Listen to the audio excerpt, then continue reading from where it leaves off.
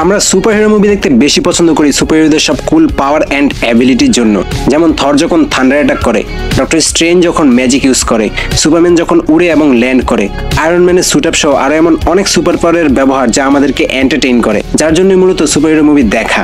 তো এখন পর্যন্ত আমরা মার্বেল এবং ডিসি সহ অন্য অন্য স্টুডিও থেকে অনেক অনেক সুপারহিরোদের লাইভ অ্যাকশনে দেখতে পেয়েছি, যাদের অনেক অনেক আজব শক্তি এবং ক্ষমতা আছে। যেমন super strength telekinesis telepathy, flying ability, magic, thunder power heat vision সহ আরও অনেক পাওয়ার। তবে আমার পার্সোনাল ফেভারিট পাওয়ার হলো হিটভিশন হিটভিশন ক্যারেক্টারগুলো এবং হিটভিশন সিনগুলো অনেক কুল লাগে। হিটভিশনের অনেক ধরনের নাম আছে, যেমন laser beam heat vision optic energy blast. তবে নাম যাই হোক, কাজ একই। এই ভিডিওতে অনেক অনেক সুপারহিরো যারা হিটভিশন ব্যবহার করে, তাদের থেকে আমি পছন্দের পাঁচজনকে বেছে নিব। তো প্রথমেই আসে এক্সম্যান থেকে সাইক্লপস সাইক্লপস মিউটেন্ট হওয়ায় সাইক্লপসের ভিতরে এই পাওয়ার এসেছে। সাইক্লপসের এই আই লেজার অনেকটা সুপারম্যানের পাওয়ারের মতোই কাজ করে। সুপারম্যান যেমন সান থেকে শক্তি পায়, তেমনি সাইক্লপসও সান থেকে শক্তি পায়। তবে এই সান পাওয়ার শুধুমাত্র সাইক্লপসের আই লেজারের জন্যই কাজ করে। সাইক্লপস তার এই পাওয়ার কন্ট্রোল করতে পারে না। মানে কখন কোথায় অ্যাটাক করতে হবে সেই কন্ট্রোল সাইক্লপসের হাতে নেই। তাই প্রফেসর জেভিয়া সাইক্লপসকে একটা সানগ্লাস বানিয়ে দিয়েছে, যার মাধ্যমে সাইক্লপস তার পাওয়ার কন্ট্রোল করতে পারে। তারপর আসে দি বয় সিরিজ থেকে হোমল্যান্ডার হোমল্যান্ডারের পাওয়ার অ্যান্ড অ্যাবিলিটি সুপারম্যানের মতোই। সুপারম্যানের প্যারোডি ভার্সন হিসেবে হোমল্যান্ডারকে বানানো হয়েছে। অন্যান্য পাওয়ার থাকা সত্ত্বেও হোমল্যান্ডার পুরো সিরিজে সবচেয়ে বেশিবার তার আই লেজার বা হিট ভিশনই ব্যবহার করেছে। কখনো এই পাওয়ার দিয়ে মানুষ মেরেছে, কখনো গণহত্যা করেছে, যেটা যদিও কল্পনা ছিল, আবার কখনো দুধ গরম করেছে, যার মাধ্যমে বোঝা যায় হোমল্যান্ডার তার হিট ভিশনের হিট নিজের ইচ্ছামতো কন্ট্রোল করতে পারে। তবে হোমল্যান্ডারের আই লেজার ব্যবহারের সিনগুলো ছিল অনেক কুল তারপর আসে মার্বেলের ইটার্নালস থেকে বাকি বার্নস। ও, সরি, ইকারিস। ইকারিস যেহেতু একজন ইটার্নাল, তাই তার ভিতরে অন্যান্য পাওয়ারের সাথে হিট ভিশনের পাওয়ারও আছে।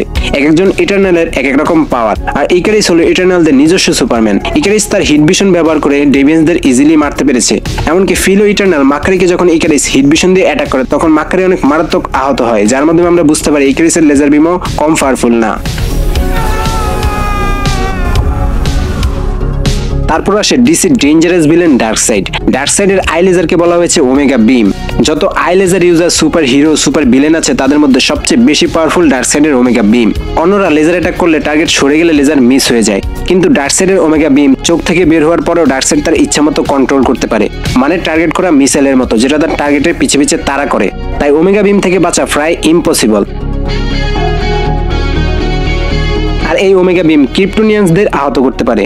প্ল্যানেট ডিস্ট্রয় করতে পারে এবং স্পিড স্টারদেরকেও ধরে ফেলতে পারে। তাই বুঝতেই পারছ ওমেগা বিম কতটা পাওয়ারফুল তারপরে আসে আমার, তোমার, আমাদের সবার প্রিয় heat vision user superhero Superman heat ভিশনকে popular and cool বানিয়েছে আমাদের সুপারম্যানই সুপারম্যানের হিট ভিশন সিনগুলো অন্য সবার থেকে আলাদা হয়। আর অন্যদেরকে এই পাওয়ার ইউজ করতে দেখলেই মনে হয়, আরে এটা তো সুপারম্যানের কপি কারণ সুপারম্যানের মাধ্যমে হিট ভিশন পপুলার হয়েছে। সুপারম্যানের হিট ভিশন ওমেগা বিমের মতো পাওয়ারফুল না হলেও সেকেন্ড পাওয়ারফুল সুপারম্যানকে আমরা শেষবার জ্যাক স্নাইডার জাস্টিস লিগে হিট ভিশন ব্যবহার করতে দেখেছি। তো এই ছিল আমার top five heat vision character যেটা আমার পছন্দের। তো তোমার অন্য কোনো যদি পছন্দের হিট ভিশন ক্যারেক্টার থেকে থাকে, তাহলে কমেন্টে জানাতে পারো।